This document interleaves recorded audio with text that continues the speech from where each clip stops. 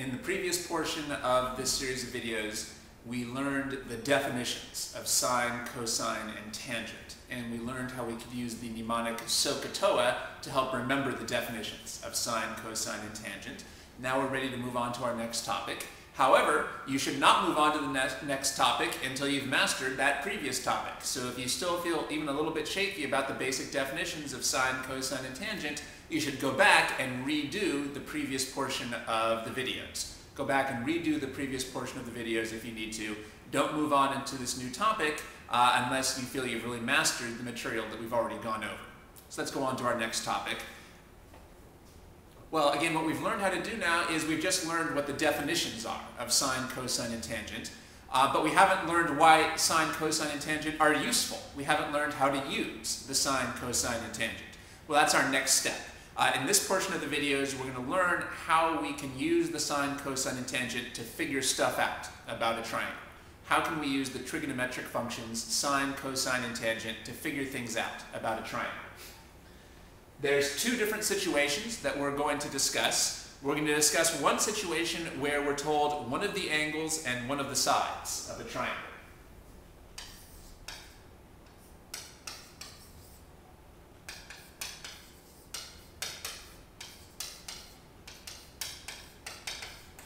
We're going to discuss a situation where we, are, where we are told or given one of the angles and one of the sides of the triangle, and then our job will be to use trigonometry to figure out everything else about the triangle, to figure out the other angles and the other sides. It turns out that if you know one angle and one side of a right triangle, you can figure out all the other angles and all the other sides using tri trigonometry.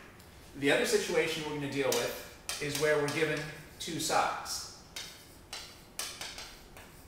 Two sides and no angles. If you're given two sides of a right triangle, then again, you can figure out everything else about that triangle. It turns out that if you're given two sides of a right triangle, you can figure out all the angles and um, all of the sides using trigonometry. So these are, the, these are the two types of situations that we're going to deal with. And these are both situations that come up a lot in physics. So it's very important in physics not just to be able to do these problems, but these types of problems are supposed to be boringly easy.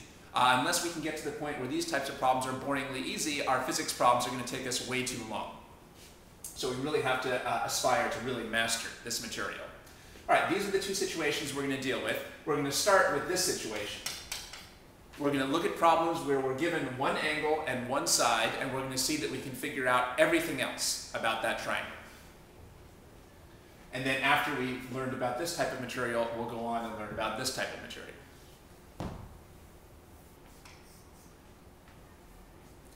Here's a right triangle, and notice that I've given you one of the sides and one of the angles. I told you this side, which is 5, and this angle, which is 30 degrees.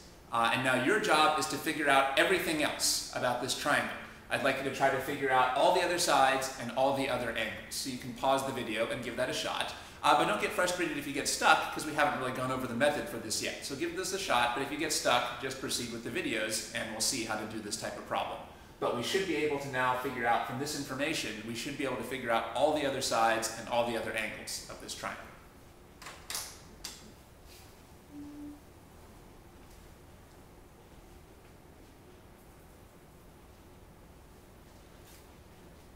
Now in this problem, uh, we want to focus on figuring out new information from the information that we were given.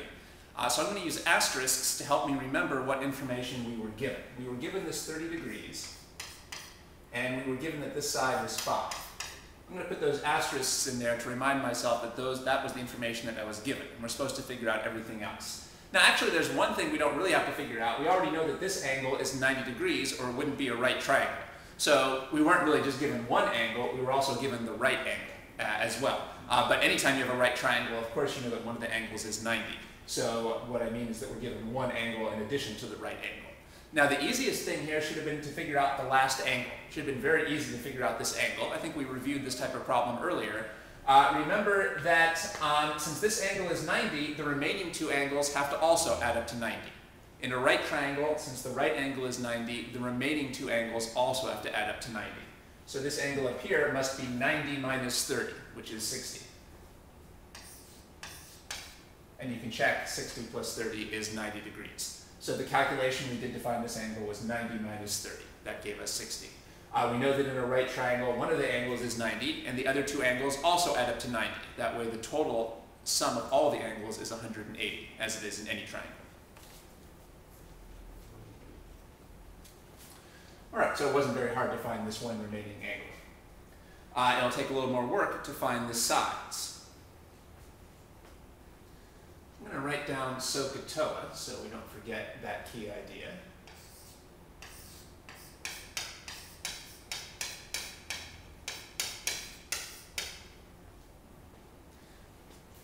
Now, in order to use trigonometry, we need to label which sides are the hypotenuse, adjacent, and opposite. Well, clearly this side um, with the asterisk with the length of 5 is the hypotenuse because it's opposite to the 90 degree angle. But which side should be adjacent and which side should be the opposite? Well, that depends on which angle we're focusing on. Are we going to focus on the 30 degree angle or the 60 degree angle? Well, at this point, we can focus on whichever angle we want. We can focus on either the 30 or the 60. However, what people usually do in physics is they usually focus on the angle they were originally given. Remember, the 60 is something we weren't given, that's something that we figured out. The number we were given was the 30. I put this asterisk here to remind myself that that was the number I was originally given. Um, so let's follow what the usual convention is in physics. Usually people like to figure stuff out based on the original givens in the situation. So we're going to still keep focusing on this 30 degree angle. Uh, it's perfectly fine if you want to focus on the 60 degree angle. That's just not the way it's usually done in physics. All right, now, um, so let's label the opposite and the adjacent sides. Well, since we're focusing on this angle with the asterisk, this side would be adjacent, and this vertical side is opposite to the asterisk. Of course, the opposite and adjacent sides would be different if we decided to focus on the 60 degrees, but we decided to focus on the 30 degrees. Very helpful to put in this asterisk so that you can remember which angle you're focusing on. I encourage you to imitate this notation if these problems give you difficulty. Now, should we be using here sine, cosine, or tangent? Well, remember that we're going to try to use this number 5 to figure other things out. We're going to try to use the number 5 to figure other things out. This asterisk reminds us that we're using the 5 to figure things out. Um, so it only makes sense to use trigonometric functions that involve the hypotenuse. It only makes sense on this problem to use trigonometric functions that involve the hypotenuse. Because uh, otherwise, if it's not involving the hypotenuse, we won't get a chance to use this number 5. So in particular, it doesn't make sense here to try to use the tangent. There's no point trying to use the tangent uh, because then we wouldn't be able to use our number 5. Remember that the tangent is the opposite over the adjacent. The tangent doesn't even refer to the hypotenuse. How can we expect to figure something out if we're not using the information that we're given? But just to make that clear, suppose that we wrote down the tangent of 30. Well, the tangent of 30 would be the opposite side over the adjacent side, but we don't know what the opposite side is, and we don't know what the adjacent side is. So this equation is useless. This equation is useless because we don't know either of these two things. Notice that what we, what we need is we need to find an, a way that we can write an equation that we can plug this 5 into. Well, we can't plug the 5 into this equation because the 5 refers to the hypotenuse. So the tangent is not going to be a, a useful function for us here. On the other hand, the sine involves the hypotenuse and the cosine also involves the hypotenuse. So those both look like they're going to be useful because we know what the hypotenuse is. All right, I'm going to start with the cosine here. If you want, you could start with the sine. Cosine of 30 degrees.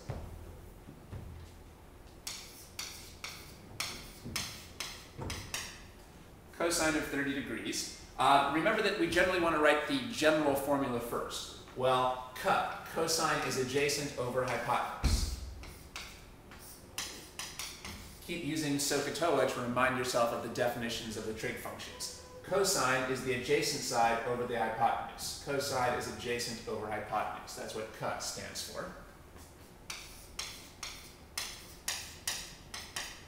Now, what number should I plug in for the adjacent side?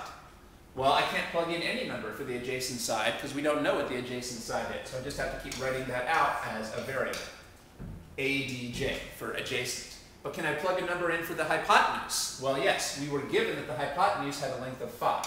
So here we see why it was a good idea to use the cosine, because the cosine involves the hypotenuse, and we know something about the hypotenuse. So we can plug in that the hypotenuse here was 5.